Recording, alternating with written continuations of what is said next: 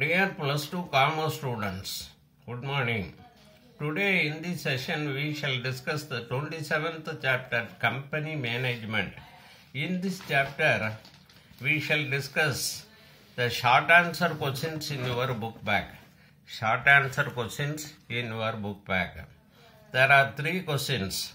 The first one is when uh, alt, when are alternative directors appointed? When are alternative directors are appointed?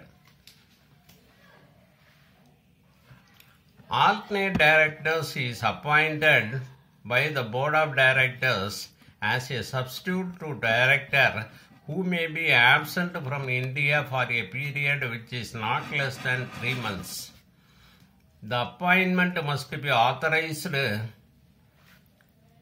The appointment must be authorized either by the Articles of Association of the company or by passing a resolution in the general meeting. The alternate director is not a representative or agent of the original director. Next question. Who is a shadow director?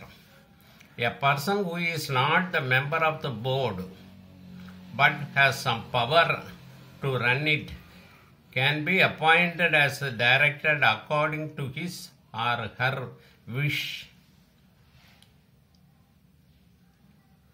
State the minimum number of directors. State the minimum number of directors for a private company. In the case of one person company, the requirement of director is one. Other private companies, the minimum requirement of director is two. Thank you, students.